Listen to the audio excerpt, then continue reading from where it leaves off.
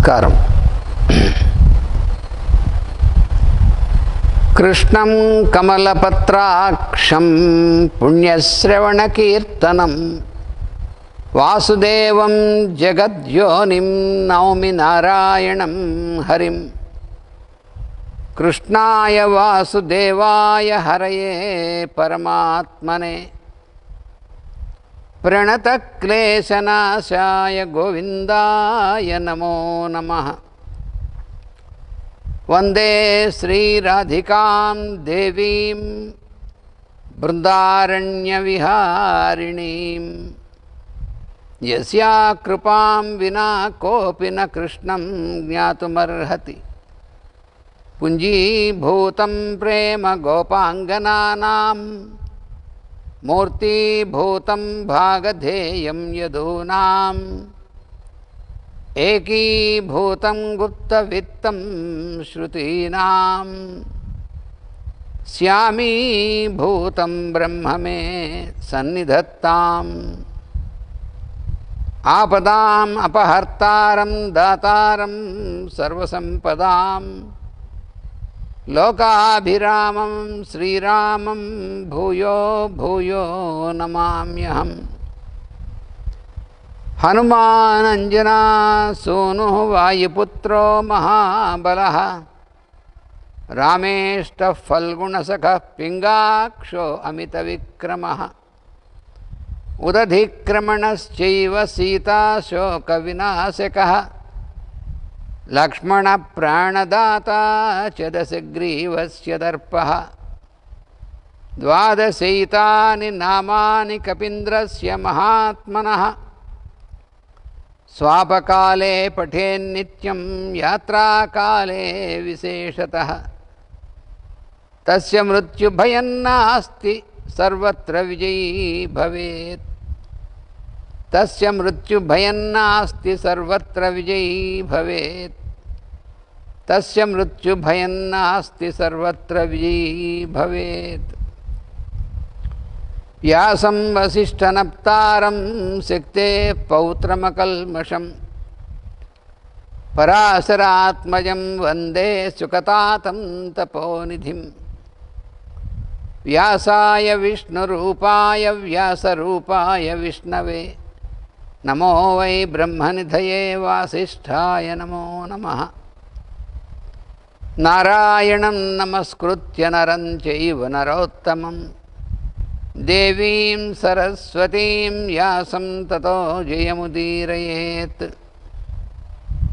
सर्ववेदार्थतत्त्वज्ञं वेदार्थप्रतिपादकं। पुराणसारसर्वज्ञं कृष्णं वंदे जगद्गुरुम्। ओमस्मद्गुरुभ्यो नमः।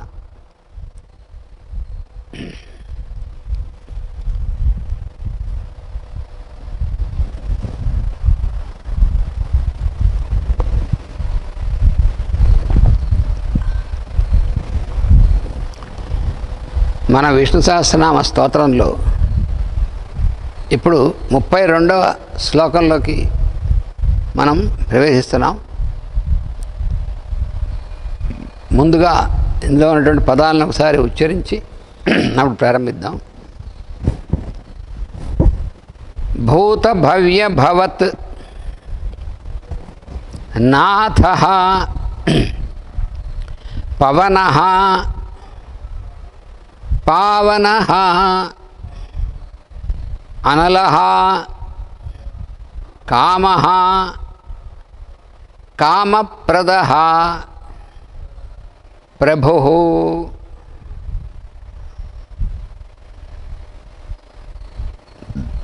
ఇందులో మొదటి నామం భూత భవ్య భవత్. భూత అంటే జరిగిపోయినటువంటిది. భవ్య అంటే జరగబోయేటువంటిది. భవత్ అంటే జరుగుతున్నటువంటిది. అంటే భూత భవిష్యత్ వర్తమానములు అనేటువంటివి.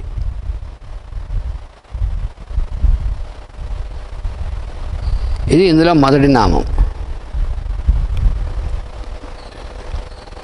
ఇప్పుడు ఇందులో ఏంటంటే భూత భవ్యత్ భూత భవిష్యత్ వర్తమానములు అనేటువంటివి ఇవి ఒకదానితో ఒకటి అల్లుకుపోయి ఉంటాయి. ఎందుకంటే ఈ మూడు కలిసి ఎప్పుడూ కూడా కొనసాగేటువంటివి. ఇవన్నీ ఇవేంటంటే ఈ మొత్తం అంతా కలిపి మన యొక్క ఇష్టములు మనకు ఏది ఇష్టమో అనేటువంటిది అలాగే మనం ఏమి చేస్తామో ఏమి ఆచరిస్తూ ఉంటామో దానికి సంబంధించినటువంటిది ఇవన్నీ కూడా ఈ భూత భవిష్య భూత భవిష్యత్ వర్తమానం అనేటువంటివి యొక్క జమిలిగా కలిసిపోయి ఎప్పుడూ వర్తిస్తూ ఉంటాయి అవి. అంటే ఏమిటంటే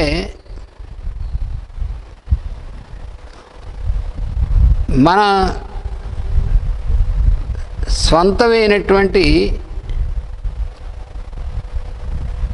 ఇష్టములు మన ఇష్టం అనేటువంటిది ఎలా ఏర్పడుతుంది మనకి ఇష్టమైనటువంటిది మన ఇష్టం అనేటువంటిది ఎలా ఏర్పడుతుందంటే అంతర్యామైనటువంటి భగవంతుని భగవంతుడు అనేటువంటి ఆ దీనికంటే దూరంగా వేరేగా మన సొంతం అనేటువంటిది ఏర్పడడం మనసులో ఎప్పుడైతే వస్తుందో అప్పుడు ఏమవుతుందంటే మన మనకు సంబంధించినటువంటి ఇష్టములు అనేటువంటివి మనకు ఏర్పడతాయి.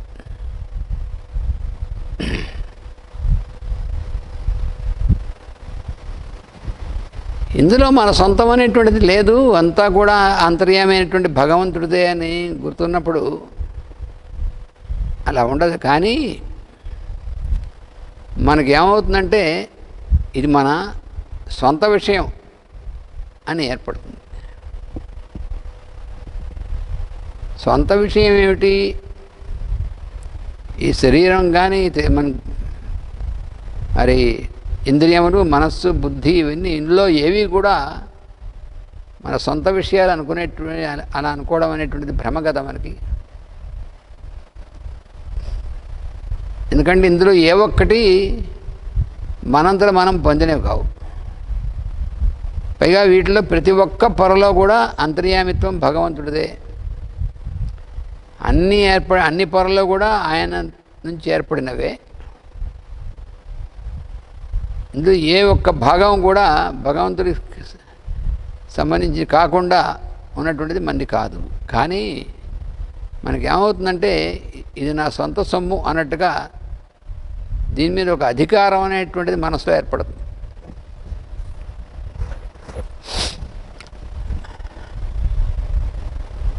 ఇది అప్పుడు ఏమవుతుంది దీనికి సంబంధించినటువంటి ఇష్టాయిష్టములు అనేటువంటివి మనకు ఏర్పడతాయి.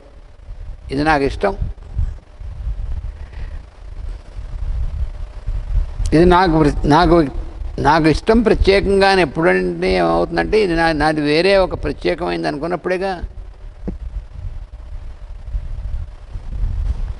ఇది వేరే ప్రత్యేకంగా నాది అని అన్నటువంటిది అనుకున్నప్పుడే మన ఇష్ట ఇష్టాలు అనేటువంటివి ఏర్పడతాయి కదా.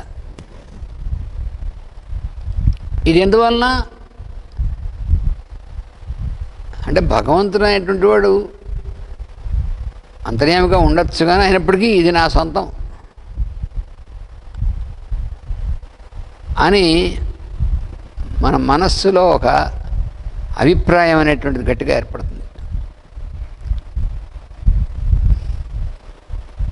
భగవంతుడు అంత అంతటా ఉన్నాడు అన్నిట్లోనూ ఉన్నాడు అనేటువంటిది ఒక అనుకోవడానికి అంటే మనం ఎలా చెప్తా ఉంటే అనుకోవడానికి బాగానే ఉంది కానీ ప్రాక్టికల్గా అని మనం ఒకటి సొంతం ఏర్పరచుకుంటాం అన్నమాట. అంటే భగవంతుడు అంతర్యామిగా ఉండడం ప్రాక్టికల్ కాదని అర్థం. ఎవరికి ప్రాక్టికల్ కాదు? భగవంతుడికే మనకే. భగవంతుడు అన్నిట్లోనూ అంతర్యామిగా ఉండి మనని అబ్జర్వ్ చేస్తుంటాడు మనం చూస్తాడు అనేటువంటిది అంత ప్రాక్టికల్గా కానీ మనకు కానీ భగవంతుడికి కాదు.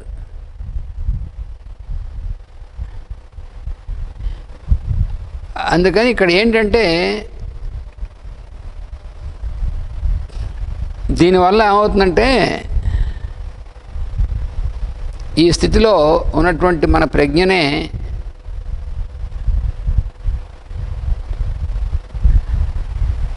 అహంకారం అంటారు.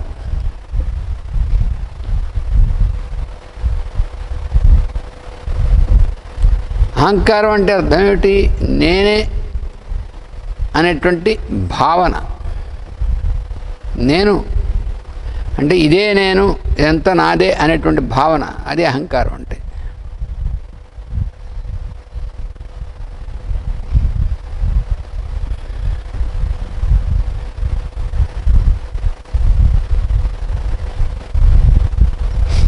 అది అయితే ఈ స్థితిలో ఏమవుతుందంటే ఈ అహంకారం అనేటువంటిది ఇదే పురాణము మొదలైనటువంటి వాటిల్లో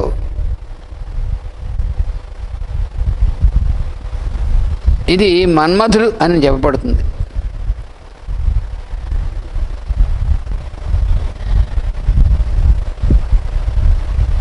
అయితే ఇది ఒక నాటకం లాంటిది. ఇది ఏమిటంటే మనని మనకి ఇలా ఏర్పడడం అనేటువంటిది ఒక పరిమితత్వం. అని దాన్ని దారితీస్తుంది భగవంతుడు అనేటువంటిది అపరిమితమైనటువంటి తత్వం. ఆ భగవంతుడి యొక్క అంతర్యామిత్వం అనేటువంటిది అపరిమితత్వం. కానీ అందులో ఇది నా సొంతం అనేటువంటి భావన ఉందే. ఏదైతే అహంకారం అనేటువంటి దానికి ఇది చేస్తుందో అది పరిమితత్వానికి దారితీస్తుంది. అయితే ఈ పరిమితత్వంలోకి ఎందుకు వెళ్తుంది మరి భగవంతుడే కదా అంతర్యామి అయితే అంటే అది ఒక నాటకం ఒక క్రీడ అనమాట ఎందుకని? ఏమిటంటే మనం జీవితం అనేటువంటి దాంట్లో అనేకమైనటువంటి స్థితులు అనేటువంటి కలుగుతాయి. అవన్నీ మనం అను అనుభవించాలి కదా.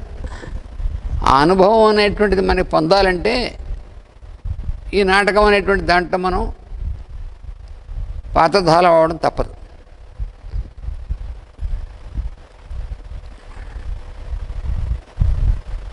అయితే ఈ పా నాట ఈ నాటకంలో పాత్రధారలు అవడం మనకి తప్పదా అంటే మనకు తప్పదు.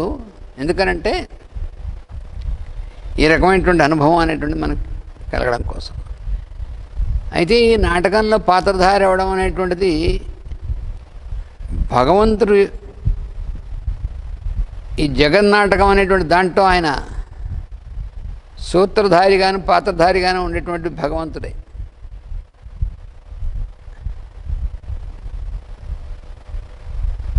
అందుకని ఆయనే కావాలని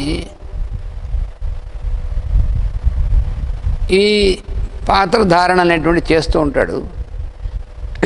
అలాగే మనకు కూడా కానీ అంటే ఏమిటి? ఆయన అయితే ఈ పాత్రధారణ పాత్ర సూత్రధారణ పాత్రధారణ చేస్తూ ఇందులోకి అవతరిస్తూ ఉంటాడు అలాగే మనకు కూడా. కానీ ఆయనకి మనకి తేడా ఏమిటంటే ఆయనకు అవేమి అంటావు మనకు అంటుతాయి అది తేడా.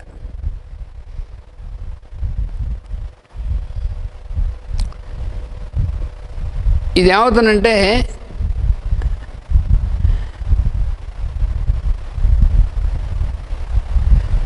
ఆ భగవంతుడు ఒక్కడే అయినప్పటికీ ఇన్ని రూపాలుగా ఈ నాటకంలో జగన్నాటకంలో ఆయనే ఇన్ని రూపాలుగా అవతరిస్తాడు. ఇన్ని ఇన్ని వేషాలు ఇన్ని రూపాలు అనేటువంటి దీంట్లో చేసి ఏం చేస్తాడంటే అప్పుడు సృష్టి అనేటువంటి దాంట్లో నాటకం అనేటువంటి దాంట్లో ఆయన పాత్రధారి అయ్యి అప్పుడు మన జీవితంలో కలిగేటువంటి అనేక సన్నివేశాలు ఉంటాయి చూసారా? ఆ సన్నివేశాల్లో అవన్నిట్లోనూ కూడా ఈ సన్నివేశాలను కల్పిస్తూ ఉంటాడు ఆయన మనకి. ఈ సన్నివేశాలు కల్పించడం అనేటువంటి దాంట్లో ఆయన మన్మధుడు అనేటువంటి వాణ్ణి పుట్టిస్తాడు. అందుకని మన పురాణాల్లో విష్ణువు మన్మధుడికి తండ్రి అని చెప్పబడుతుంది. మన్మధుడు ఎవరో కాదండి మన విష్ణుమూర్తి గారి యొక్క కొడుకే అని పురాణాల్లో చెప్పబడుతుంది. అంటే ఏమిటి? అంటే మన జీవితాల్లో ఉన్నటువంటి అనేక సన్నివేశాల్లో ఆ సన్నివేశాలని ఆయన కల్పించినటువంటివే. ఆ సన్నివేశాలు అనేటువంటి వాటిల్లో మనకి మోహము అనేటువంటిది. అంటే ఇవన్నీ నావే నేనే వీటికి కారణం అనేటువంటిది. కలగడం అనేటువంటిది ఈ మన్మధుడు అనేటువంటి వాడు వాడి యొక్క ప్రభావం వల్ల కలుగుతూ ఉంటుంది.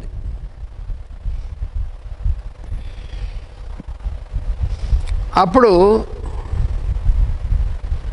ఈ మన్మధుడు ఏం చేస్తాడంటే మనమే విజృంభిస్తూ ఉంటాడు.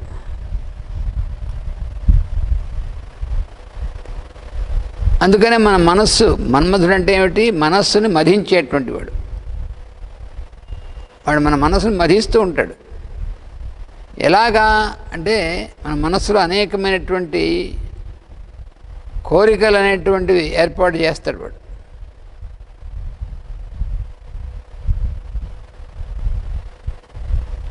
దానివల్ల ఏమవుతుందంటే మనకి అహంకారం నేనే నాదే ఇదంతా అనేటువంటిది ఏర్పడుతుంది.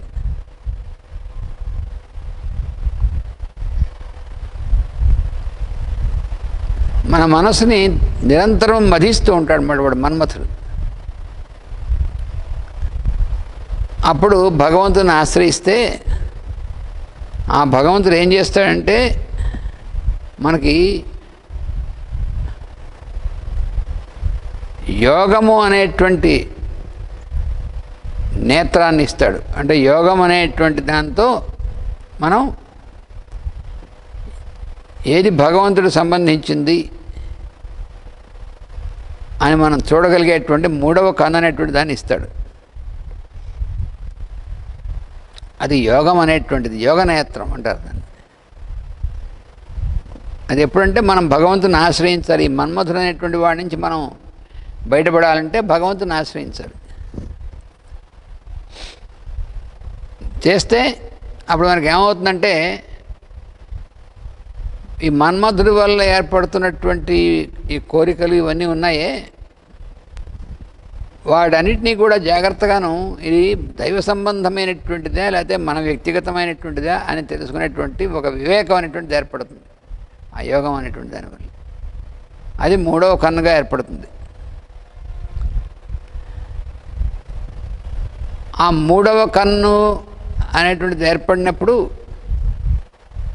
శివుడు అనేటువంటి రూపంలో భగవంతుడు మన మనలోంచి పనిచేస్తాడు. అప్పుడు ఆ మూడవ కన్ను ఎప్పుడైతే తెరుచుకోవడం జరుగుతుందో అప్పుడు ఈ మన్మధుడు భస్మం అయిపోతాడు ఈ నిరంతరం మనలో జరిగేటువంటి కథ ఇది.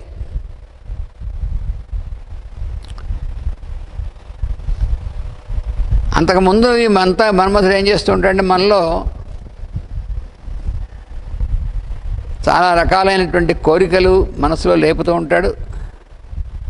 అవి రేపుతి ఆ మనసులు మనసులో కోరికలన్నీ రేపుతూ ఉండి మనకి చాలా మన్మధుడు అంటే చాలా అందమైనటువంటి వాడు అని మనకి భావన కలిగిస్తూ ఉంటాడు. కానీ మూడో కన్ను తెరిచిన తర్వాత ఆ వివేకం అనేటువంటి యోగం వల్ల కలిగినటువంటి వివేకం అనేటువంటి మూడవ కన్ను తెరుచుకున్న తర్వాత వాడు భస్మం అయిపోతాడు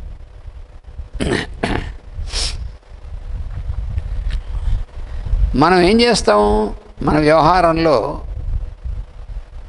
ఒకళ్ళందు ఒకళ్ళు ప్రేమను చూపిస్తాం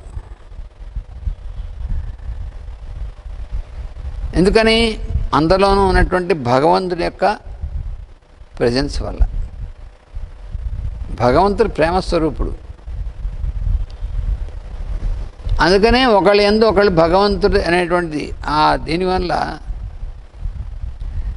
ముందు మామూలుగా మన్మధుడు అనేటువంటి వాడి యొక్క ప్రభావం వల్ల చూపించేటువంటిది ప్రేమ అనుకుంటాం కాదు అది. అది కేవలం ఆకర్షణ. వాడు భస్మం అయిన తర్వాత మనకి వచ్చినటువంటి నిజమైనటువంటి అనుభూతే భగవత్ తత్వం అనేటువంటి దాని నుంచి కలిగేటువంటిది ప్రేమ అనేటువంటిది అది. అప్పుడు ఏం చేస్తామంటే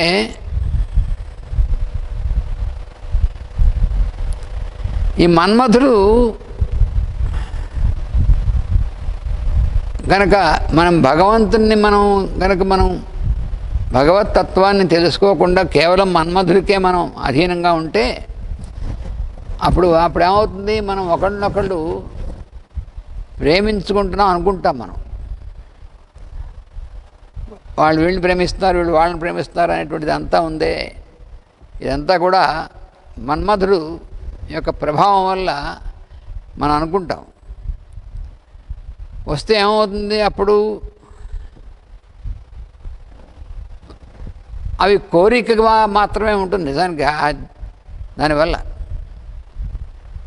మన్మధుడు మనస్సుని మదిస్తూ ఉండడం వల్ల ఏమవుతుంది? మనసులో బోడని కోరికలు పుడతాయన్నమాట. ఆ కోరికల యొక్క వశంలో మనం ఉంటాం. వాడు నిరంతరం మనలో ఆ పని చేస్తూ ఉంటాడు మనసు మరిస్తూ ఉంటాడు.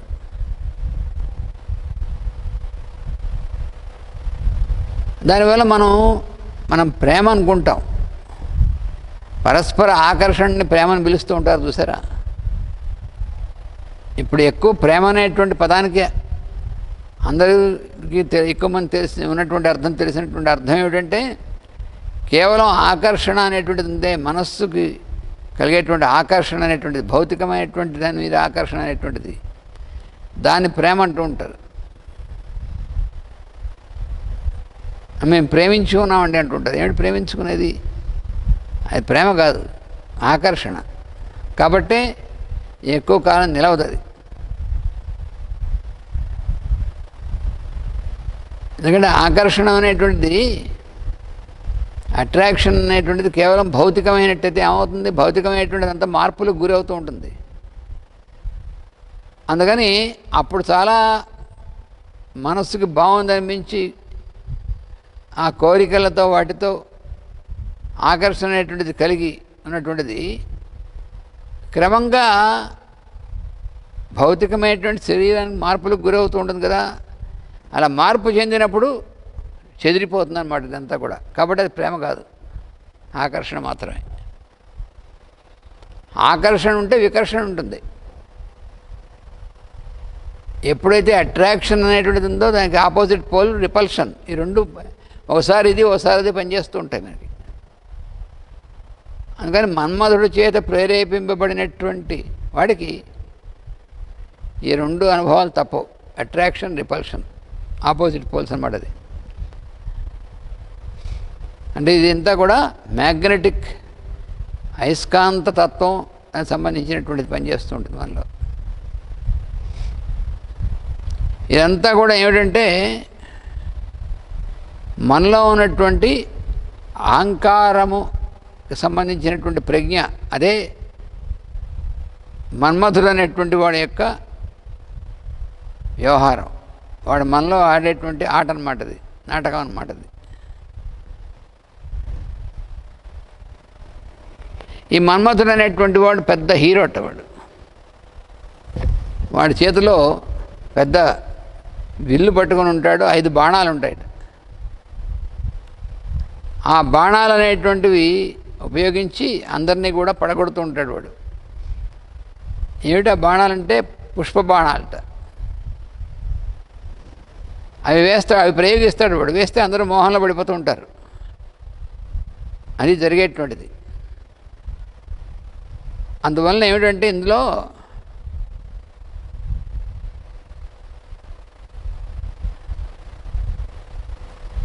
ఈ భగవంతుడు యొక్క నామం నామాల్లో ఇందులో ఉన్నటువంటిది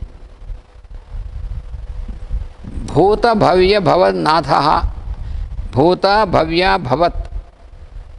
ఈ శ్లోకంలో ఉన్నటువంటి విశేషం ఏంటంటే భూత అంటే అయిపోయినటువంటిది భగవంతుడే. జరిగిపోయినటువంటిది భగవత్ స్వరూపమే. భవ్య అంటే జరగబోయేటువంటిది భగవత్ స్వరూపమే.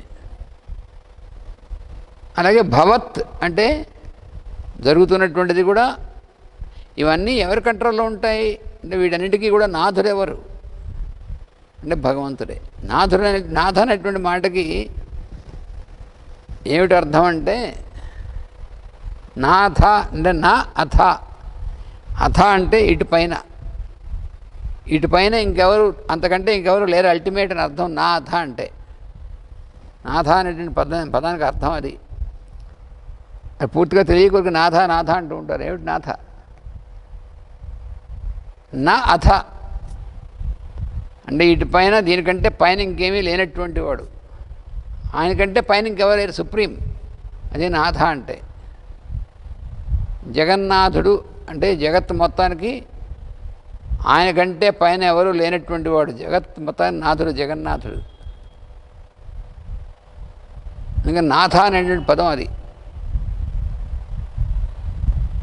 మరి భగవంతుడిని అనాథనాథ అంటారు. అనాథనాథ అంటే అర్థం ఏమిటి? ఆయన మనందరికీ నాథుడు. కానీ ఆయన అనాథుట్ట. అయ్యయ్యో అదేమిటండి పాపం? అనాథుడు ఆయన. దిక్కు దివాణం లేనటువంటి వాడు అనాథుడు అంటే అదే అర్థం. అనాథ అంటే అర్థం ఏంటి? పాపం దిక్కు లేనటువంటి వాడు అర్థం. అంటే భగవంతుడు దిక్కు లేనటువంటి వాడా? మరి అనాథనాథుడు ఎందుకన్నారంటే ఆయన సృష్టి మొత్తానికి నాథుడు కానీ ఆయనకు నాథుడు అనేటువంటిది ఎవరు లేరు పైన. అదే అనాథనాథ అంటే. అనాథుడు అయినటువంటి వాడు. అంటే ఆయనకి నాథుడు అనేటువంటిది ఇంకెవరు లేరు. అటువంటి వాడు ఆయన మాత్రం సృష్టి మొత్తంలో సమస్త జీవులకి సృష్టికి బ్రహ్మాండ సృష్టికి జీవ సృష్టికి అందరికి కూడా నాథుడైనటువంటి వాడు ఆయనే. అందుకని అనాథనాథుడు అంటారు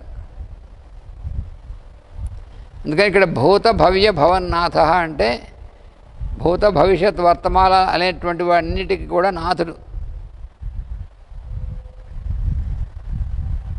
అలాగే ఆయన పవన పవన అంటే వాయు. వాయువు అనేటువంటిది ఆయన ఇప్పుడు భగవంతుడికి పవన అనేటువంటిది నామం ఎందుకు వచ్చిందంటే పవన అంటే ఆయన అన్నిటినీ కూడా పావనం చేసేటువంటి వాడు. అంటే అన్నిటినీ అన్నిటినీ పవిత్రీకరించేటువంటి వాయువు అని పవన అంటారు. పావన అంటే మళ్ళీ వెంటనే పవన పావన అని రెండు మాటలు వేసాడు రెండు నామాలు.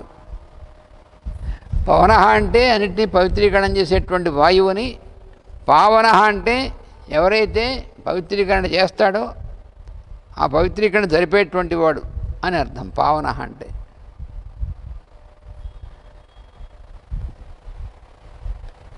అనలహ అనలహ అంటే అగ్ని అని అర్థం.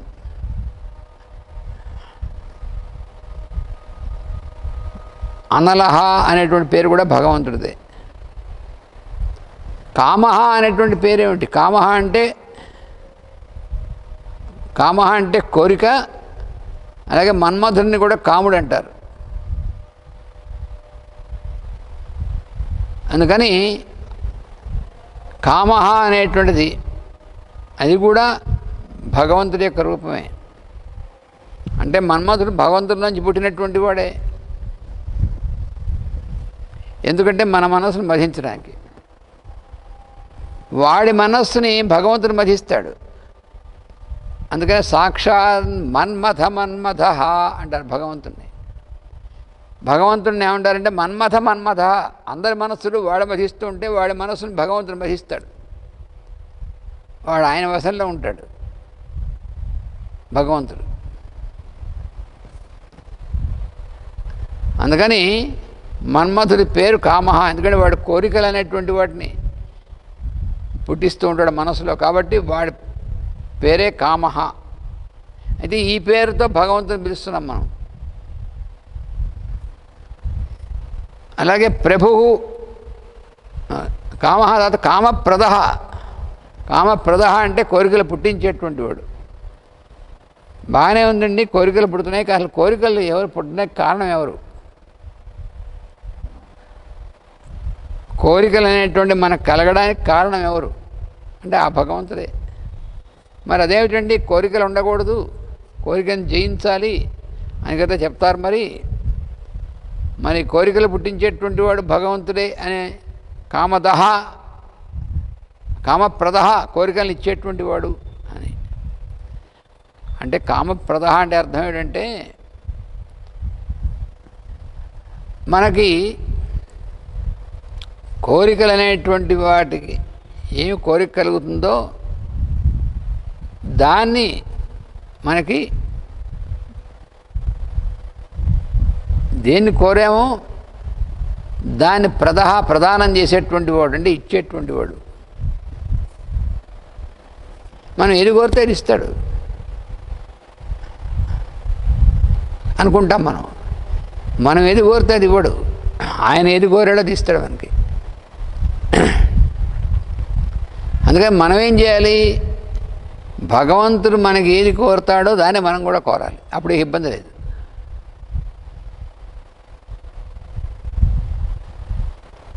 అది సాధన అనేటువంటి దానివల్ల అది వీలవుతుంది. అందుకని కామప్రద.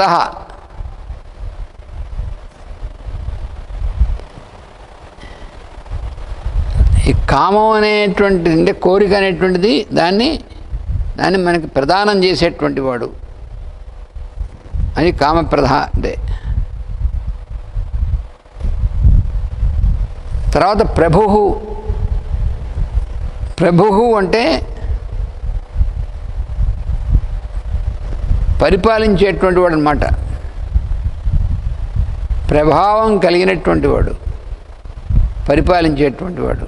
అది ప్రభువు అంటే.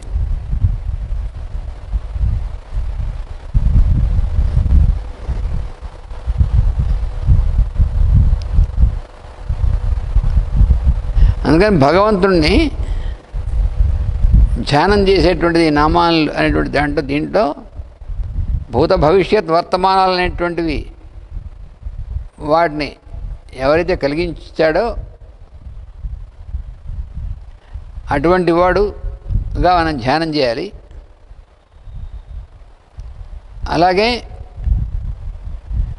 అన్నిటికీ పవిత్రత చేకూర్చేటువంటి వాయువు అనేటువంటి వాడుగా ధ్యానం చేయాలి.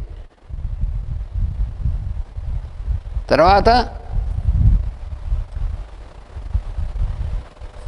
తాను పవిత్రం తన తానే పవిత్రుడైనటువంటి వాడు అని ధ్యానం చేయాలి.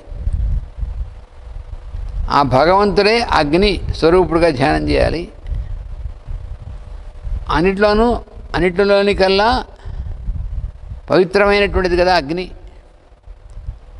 అందుకని అగ్ని అన్నింటినీ పవిత్రీకరణ చేయగలదు. అగ్నిని పవిత్రం చేసేటువంటిది వేరే ఏజెంట్ ఉండదు.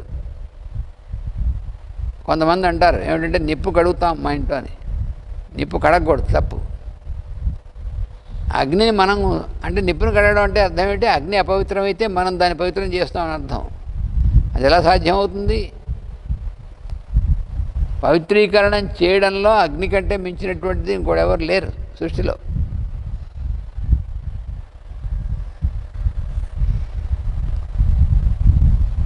అందుకని అన్నిటిలోకి పవిత్రమైనటువంటి వాడుగా అగ్నిని అటువంటి అగ్నిస్వరూపుడుగా భగవంతుని ధ్యానం చేయాలి.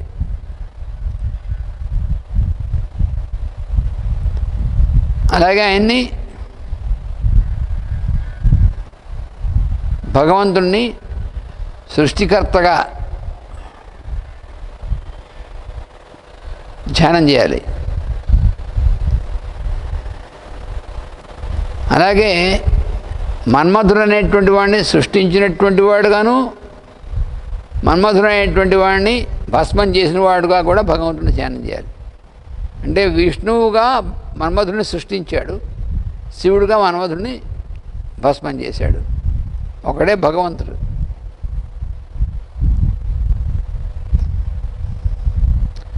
అలాగే అందరికీ కూడా ఇష్టమైనటువంటి వాడు భగవంతుడు. కాబట్టి మన్మధుడు అందరికీ ఇష్టమైనటువంటి వాడు అందరూ ఆయన ఇష్టపడతారు భగవంతుడిని కాబట్టి ఆయన ఆయన్ని భగవంతుడిని కూడా మన్మధుడు అని పిలుస్తారు కామహ అని పిలుస్తారు.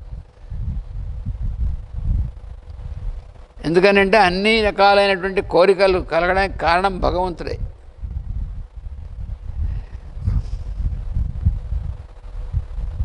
అందుకని ఈ మొత్తం సృష్టికి అంతటికి కూడా ఆయన ప్రభువు అనేటువంటి అనేటువంటి రూపంగా ఉంటాడు భగవంతుడు. సృష్టికి ప్రభు అన్నమాట ఆయన. అంతటికి కూడా.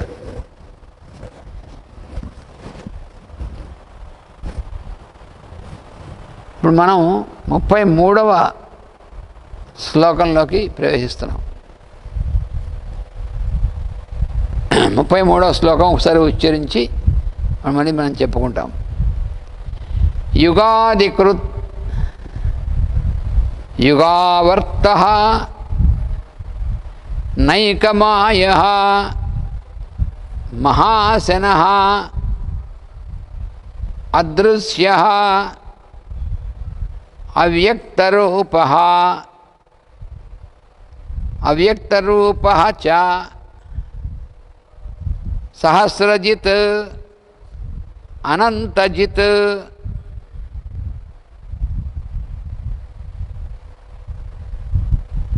మొదటి నామం ఈ ముప్పై మూడో శ్లోకంలో యుగాదికృత్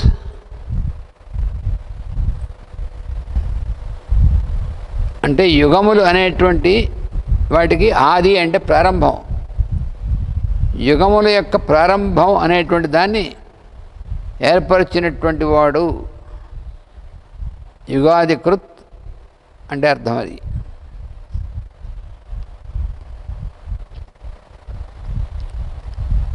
అంటే యుగాల ప్రారంభం అనేటువంటిది ఆయనే. యుగములు అనేటువంటివి కాల ప్రమాణములలో ఉన్నటువంటి పెద్ద ప్రమాణాలు. యుగములు.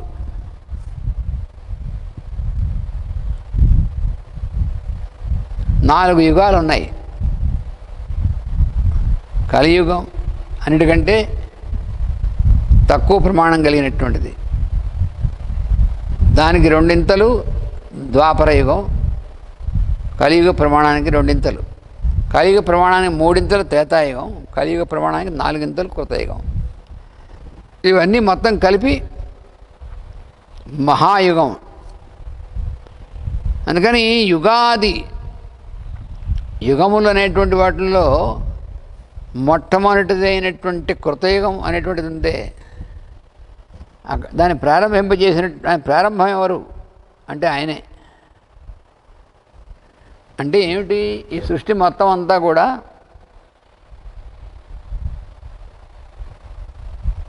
బాగా వికాసము చెంది కార్యశీలమైనటువంటి విధంగా ఉన్నటువంటి స్థితి ఒకటి. తర్వాత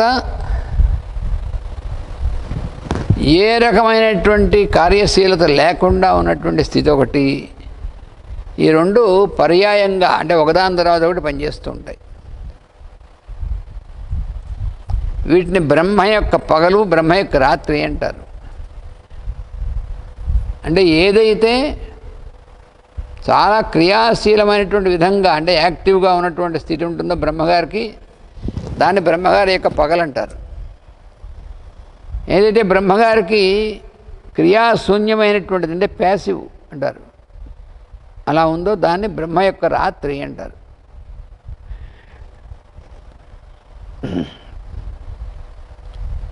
అలాగే బ్రహ్మ యొక్క ఈ అహోరాత్రం ఉన్నాయే అహోరాత్రం అంటే ఒక పగలు ఒక రాత్రి కలిస్తే ఒక అహోరాత్రం అంటారు. అంటే ఒక పూర్తి రోజు అనమాట ఒక అహోరాత్రం అంటే. అలా బ్రహ్మగారి యొక్క ఒక అహోరాత్రం అనేటువంటిది ఉందే దాన్ని ఇంకా విభాగాలు చేస్తే ఆ విభాగాలు అనేటువంటివి మన్వంతరములు అవుతాయి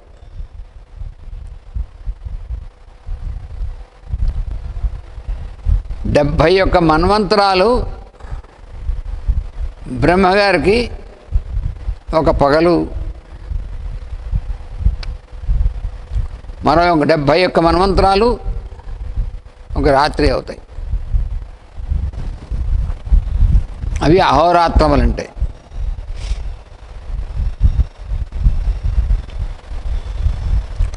ఈ మన్వంతరాలన్నీ మళ్ళీ మళ్ళీ మన్వంతరాలన్నింటినీ కూడా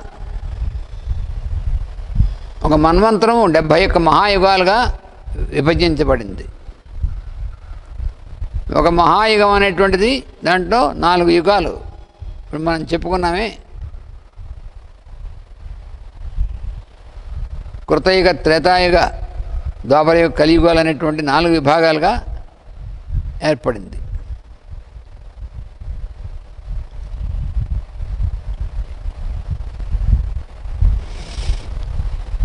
వీటన్నిటికీ కూడా ఈ కాల ప్రమాణాలన్నిటికీ కూడా వాటి ఎందు కూడా కాల ప్రమాణములు కాలముల ఎందు కూడా అంతర్యామిగా ఉన్నటువంటి వాడు ఆ భగవంతుడే ఆయనే. అందుకని ఆయనే కాల ప్రమాణములుగా పనిచేస్తూ ఉంటాడు. అందుకని ఈ మొదటి నామం యుగాది కృత్ అంటే అర్థం అది. యుగముల ప్రారంభాన్ని సూచించేటువంటి వాడు అది యుగాధికృత్ అనేటువంటి మాటకి అర్థం. తర్వాత యుగాధికృత్ తర్వాత యుగావర్త. ఈ యుగములు ఒకదాని తర్వాత ఒకటి ఆ క్రమంలో రావడం అనేటువంటిది ఆవర్తనం అంటే తిరిగి రావడం అనేటువంటిది. ఆ తిరిగి రావడం అనేటువంటిది యుగాలు మళ్ళీ అదే క్రమంలో మళ్ళీ తిరుగుతూ తిరుగుతూ రావడం అనేటువంటిది ఉందే. అది దానికి కారణం ఎవరంటే అది కూడా భగవంతుడే కారణం. అంటే యుగాలు అనేటువంటి వాటిని ఏర్పరిచి ఆ రూపంగా పనిచేసేటువంటి వాడు ఆయనే. ఆ యుగముల యొక్క ఆవర్తనం యుగాలు మళ్ళీ అదే విధంగా తిరిగి రావడం అనేటువంటి దానికి కారణం కూడా ఆయనే. యుగావర్త.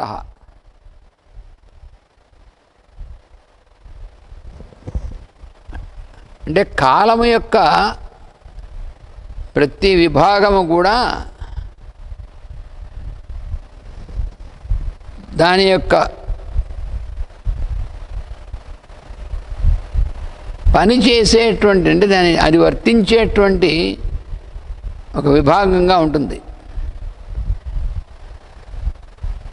దాని పరిమితిలో అది ఒక సుడిగుండం లాంటిది.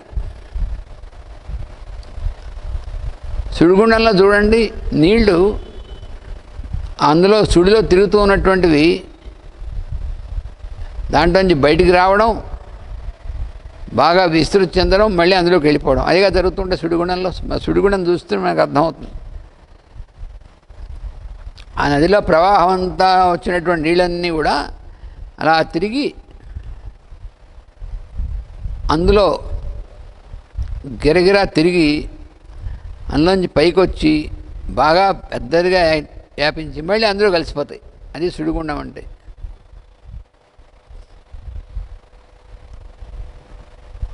ఆ విధంగా ఈ కాల విభాగములు అనేటువంటి ప్రతి ఒక్కటి కూడా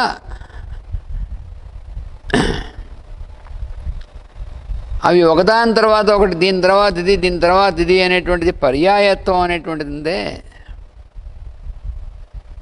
అది ఒక రకమైనటువంటి క్రీడ అన్నమాట. భగవంతుడి యొక్క క్రీడే అది. అది అలా ఎందుకు జరుగుతుందంటే అది ఆయన యొక్క ఆయన యొక్క స్వభావం. ఆయన యొక్క ప్రకృతి అన్నమాట అది. ఆయన యొక్క ప్రకృతి ఆయన భగవంతుడి యొక్క ప్రకృతి వల్ల అవే అలా జరుగుతూ ఉంటుంది ఆవర్తనం అనేటువంటిది. అందుకని ఈ యుగం అనేటువంటి ఒకదాని తర్వాత ఒకటి మళ్ళీ తిరిగి వచ్చేట్టుగా చేసేయడానికి కారణం ఎవరు అంటే భగవంతుడే. అందుకని యుగావర్త అనేటువంటి నామం అందుకోసం అనమాట మొట్టమొదటిదేమో యుగాధికృతి రెండోది యుగావర్త. మూడోది నైకమాయ.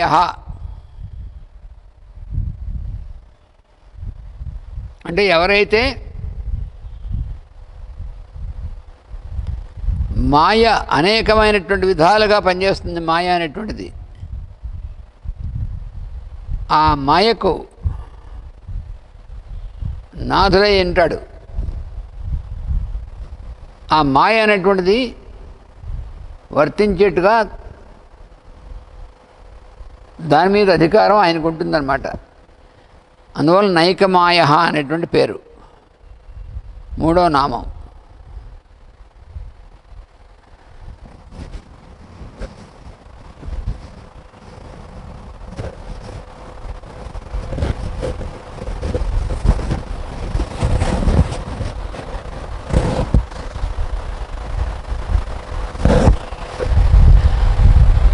అంటే మాయ అనేటువంటిది ఒక రకంగా కాకుండా అనేకమైనటువంటి విధాలుగా ఏర్పడేటువంటి మాయ అన్నమాట. అందుకని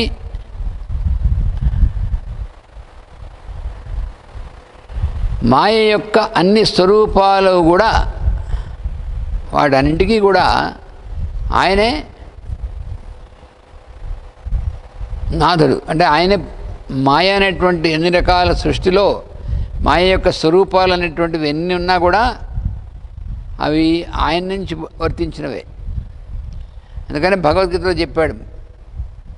ఏమిటంటే ఈ మాయ అనేటువంటిది కూడా నా నుండి వచ్చినటువంటిదే.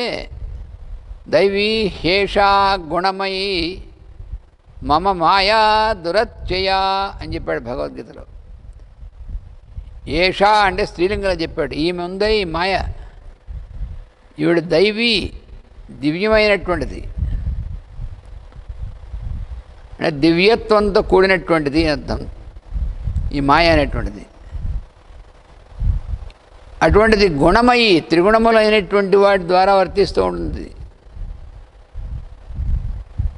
అందువలన దురత్యయ దాటడం చాలా కష్టం అన్నాడు. అనేక రూపాలుగా ఉంటుంది. ఇప్పుడు మూడు గుణాలు ఉన్నాయి మూడు గుణాలు అనేకమైనటువంటి కాంబినేషన్స్ ఉంటాయి దానికి. త్రిగుణాలకి. అందుకని ఈ మాయ అనేటువంటిది ఇన్ని కాంబినేషన్స్ అన్నీ వీటి ద్వారా వర్తిస్తూ ఉంటుంది త్రిగుణములు అనేటువంటి వాటి ద్వారా. అందుకని ఆయన ఈ మాయ అనేటువంటి దానివల్ల వర్తించేటువంటి అన్నిటికీ కూడా వీటన్నిటినీ కూడా ఆయన అధ్యక్షతలో ఆయన అధ్యక్షుడుగా ఉంటాడు.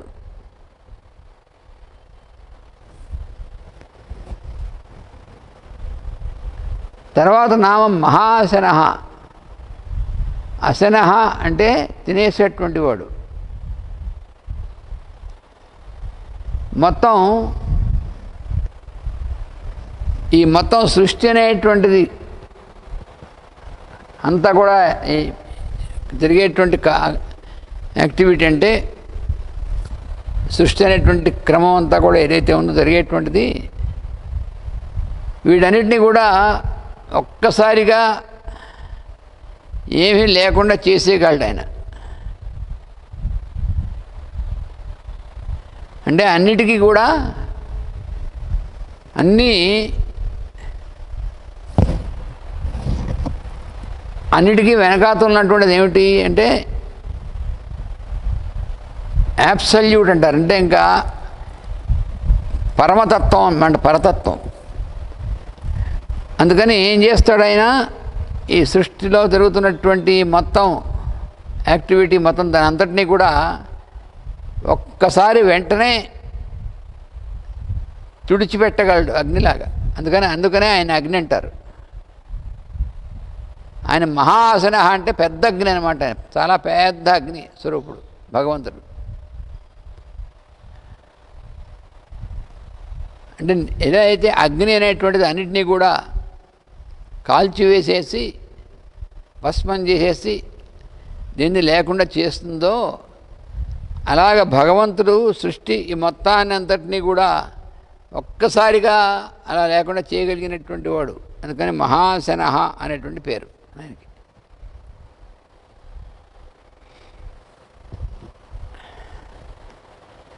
అలాగే ఐదవ నామం ఉంది ఇందులో. ఐదో నామం ఏమిటి? అదృశ్య.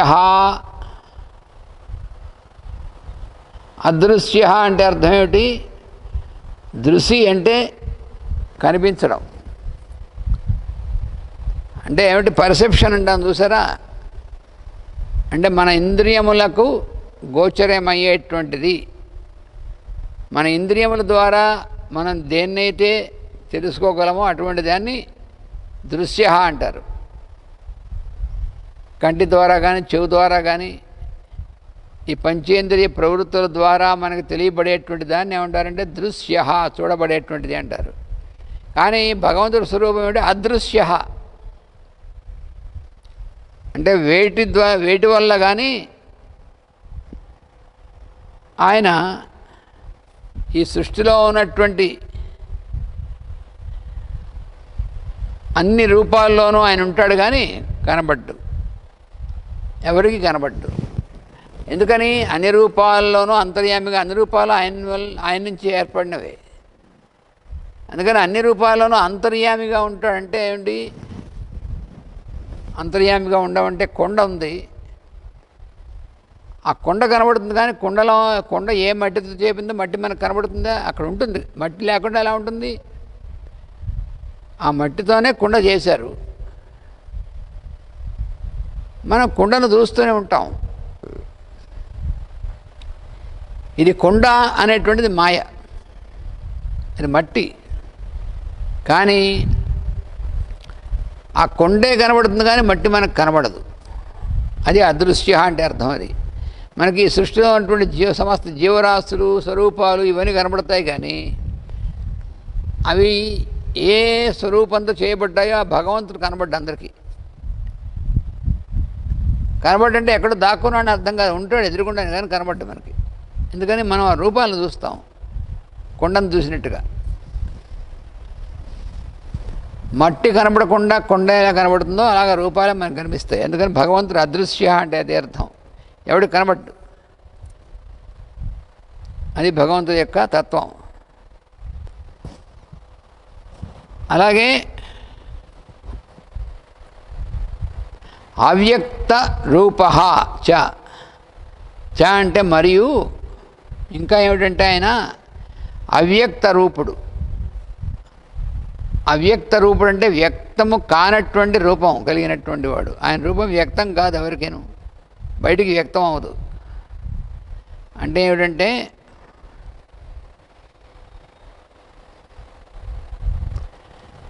మనస్సు ఇంద్రియములు అనేటువంటి వాటికి మనస్సు ఇంద్రియముల ద్వారా తెలుసుకుందాం ఆయన్ని అంటే మాత్రం ఆయన అవ్యక్తుడు వ్యక్తం కాడు. ఈ సృష్టి యొక్క సమాహారమైనటువంటి చైతన్యంగా ఆయన దర్శించినటువంటి వాడికి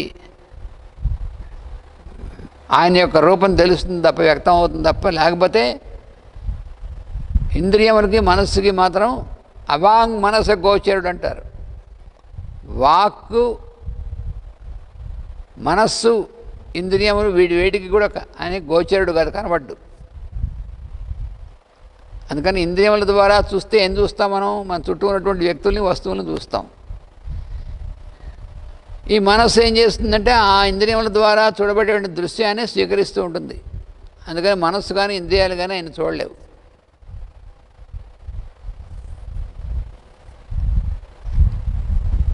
అటువంటి వాడు అనగా అవ్యక్త అంటే అది అర్థం. ఇంద్రియములు అనేటువంటి వాటి ద్వారా వ్యక్తము కానటువంటి వాడు మనస్సు ఇంద్రియాలకు వ్యక్తం కాని అందుకని అవ్యక్త రూప.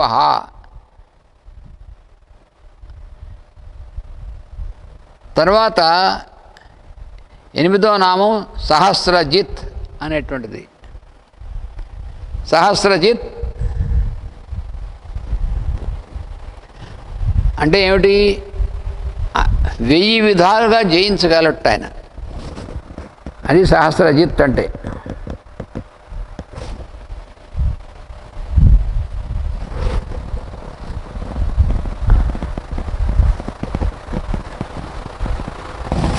ఏమిటంటే ఆయన యొక్క మాయ ఉందే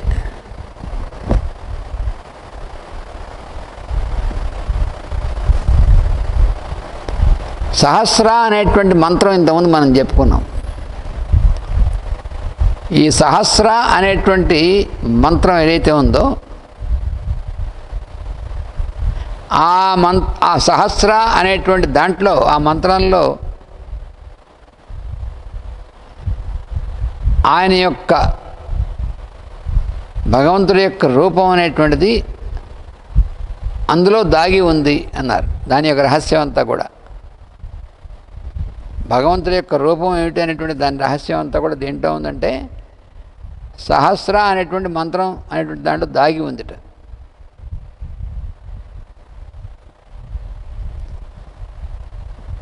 ఎందుకని దాన్ని దాటలేము అంటే ఆయన యొక్క భగవంతుడి యొక్క మాయ ఉందే అది మనని ఆ విధంగా బంధించి వేస్తుందన్నమాట. అందువల్ల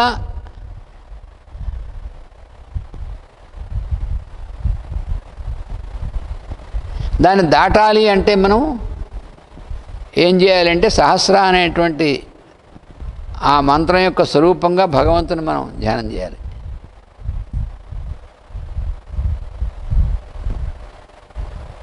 ఈ సహస్ర అనేటువంటి మాటకి అర్థం ఏమంటే వెయ్యి అని అర్థం. ఎందుకని? ఆయన వెయ్యి తలకాయలు వెయ్యి పాదాలు వెయ్యి చేతులు అలా చూసేటువంటి రూపాలన్నీ కూడా వెయ్యి వెయ్యి అనేటువంటి దాంట్లో మనం సహస్ర అనేటువంటి పదం అది.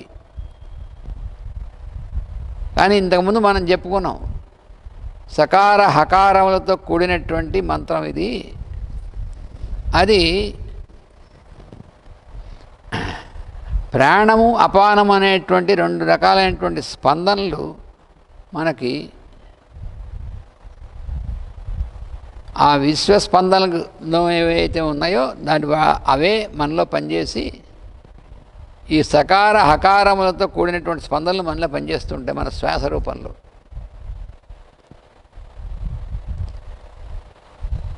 అందుకని సా హ అనేటువంటి వారు ఉండి అలా వస్తే స్రా అనేటువంటిది ఎలా వచ్చింది మరి అంటే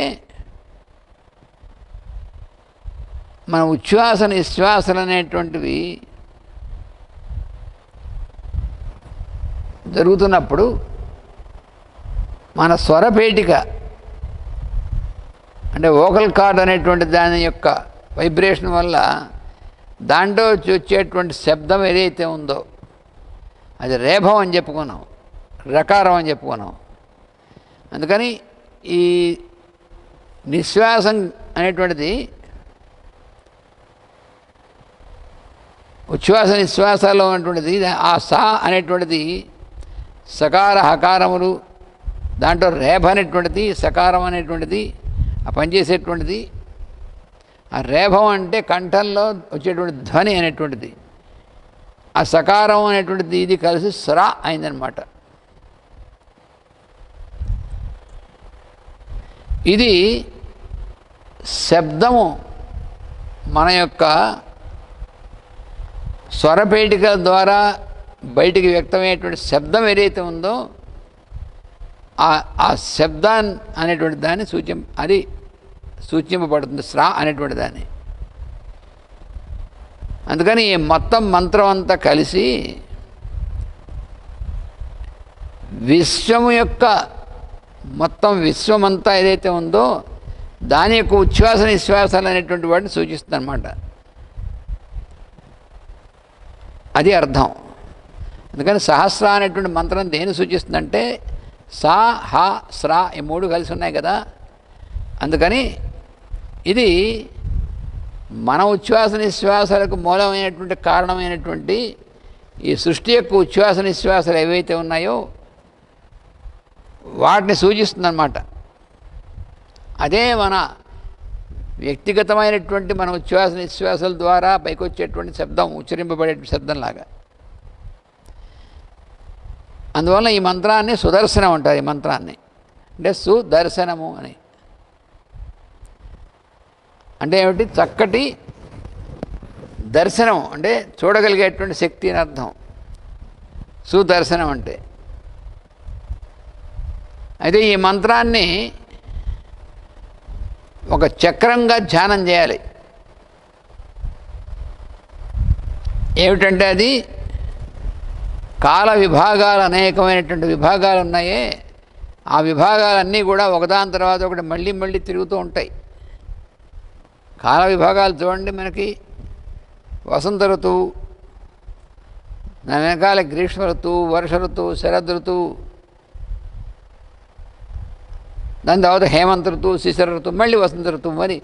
అంటే చక్రమేగా ఇది? ఋతుచక్రం సంవత్సర చక్రం మాసచక్రం దినచక్రం రోజు చక్రం ఉంది. అనేవాడు సూర్యోదయం మిట మధ్యాహ్నం సూర్యాస్తమయం అర్ధరాత్రి ఇలా ఈ చక్రం ఇలా అన్ని చక్రాలు తిరుగుతూ ఉంటాయి ఇవన్నీ కూడా. అందుకని కాల విభాగాలు అనేటువంటివి ఏవైతే ఉన్నాయో ఇవన్నీ కూడా కలిసి అనేకమైనటువంటి విభాగాలతో కూడినటువంటి ఈ కాలం అంతా కూడా చక్రంలా తిరుగుతూ ఉంటుంది. ఈ చక్రాన్ని మనం ఈ మొత్తం ఈ విభాగాలతో కూడుతూ కూడి తిరుగుతుండే చక్రాన్ని మనం భగవంతుడి యొక్క వేలి మన దగ్గర ఉన్నటువంటి అక్కడ తిరుగుతున్నట్టుగా ధ్యానం చేయాలి మనం. అది మనం చేయవలసినటువంటిది ఈ సహస్ర అనేటువంటి ఈ చక్రాన్ని. ఎవరైతే ఇలా ధ్యానం చేస్తారో అటువంటి వాళ్ళు ఈ మాయా అనేటువంటి శక్తిని అధి అతిక్రమిస్తారు. అది అక్కడ చెప్పినటువంటిది. అంటే మాయా అనేటువంటి దానికి ప్రభావం అనేటువంటిది ఏదైతే ఉందో ఆ ప్రభావం నుంచి బయటపడడం కోసం ఆ రకమైనటువంటి ధ్యానం చేయాలి అని చెప్పారు. అది సహస్ర అనేటువంటి దాంట్లో ఉన్నటువంటిది. అందుకని సహస్ర జిత్ అన్నమాట. ఆ సహస్ర అనేటువంటి దాంతో జయించినటువంటి వాడు. అలాగే అనంత జిత్. అనంతము అంటే అంతము లేనటువంటిది. ఆయన యొక్క రూపం అనంతము. ఆయన స్వరూపం. అందుకని ఆయన తన యొక్క అనంత తత్ అనంతత్వముతో ఏం చేస్తాడంటే ఆయన ఈ సృష్టి మొత్తాన్ని అందరినీ కూడా జయిస్తాడట. అంటే భగవంతుణ్ణి అనంత స్వరూపుడుగా ధ్యానం చేయమన్నారు. అప్పుడు ప్రతి ఒక్కడు కూడా ఈ ధ్యానం అనేటువంటి చేసినప్పుడు ఆ మాయా అనేటువంటి ప్రభావం అనేటువంటి దాని నుంచి బయటపడతాడు అని. ఈ మాయను జయించాలంటే భగవంతుణ్ణి అనంతమైనటువంటి స్వరూపాలుగా అలాగే అనంతమైనటువంటి మార్గాలుగా ఆయన ధ్యానం చేయాలి. అందుకని అనంత జిత్ అంటే జిత్ అంటే జయించినటువంటి వాడు. తన యొక్క అనంతమైనటువంటి మార్గములుగా ఆయన ఈ మాయనటువంటి దాన్ని జయించినటువంటి వాడు అవుతాడు. మనం మనం కూడా మాయను అలాగే జయించగలం. మనం ఆయన యొక్క అనంత తత్వాన్ని అనేటువంటి దాన్ని ధ్యానం చేస్తే మనం కూడా మాయా ప్రభావంలో పడకుండా జయించడం అనేటువంటి జరుగుతుందన్నమాట. అందుకని ప్రతి ఒక్కడు కూడా భగవంతుణ్ణి ఆ మాయ దాటడం అనేటువంటి దానికోసం అనంతం అయినటువంటి స్వరూపాలుగా ఆయన మాయను జయించినటువంటి వాడుగా భగవంతుణ్ణి అంటే మాయ ఏం చేస్తుందంటే మనకి మన ఎందు మన ఒక బంధం కలిగిస్తుంది అన్నమాట మనకి. అంటే మన ఒక దీంట్లో చుట్టేస్తూ ఉంటుంది. దాన్ని కండిషనింగ్ అంటారు. అందుకని దాని నుంచి మనం బయటపడాలంటే భగవంతుణ్ణి ఆ రకంగా మనం ధ్యానం చేస్తే బయటపడతాం. అనంతజిత్ సహస్రజిత్ అనంతజిత్ దీంతో మనం ఇరవై మూడో శ్లో ముప్పై మూడో శ్లోకం పూర్తయింది. రేపు మనం మళ్ళీ ముప్పై నాలుగో శ్లోకాన్ని చెప్పుకుంటాం. ముప్పై నాలుగో శ్లోకంలో రేపు ప్రవేశిస్తాం. స్వస్తి ప్రజాభ్య పరిపాలయంతాం. న్యాయ్యేన మార్గేణ మహిం మహిషా గోబ్రాహ్మణేభ్య శుభమస్తు నిత్యం. లోకా సమస్తా సుఖినో భవంతు. లోకా సమస్తా సుఖినో భవంతు లోకా సమస్తా సుఖినో భవంతు ఓం శాంతి శాంతి శాంతి వాసుదేవ వాసుదేవ వాసుదేవ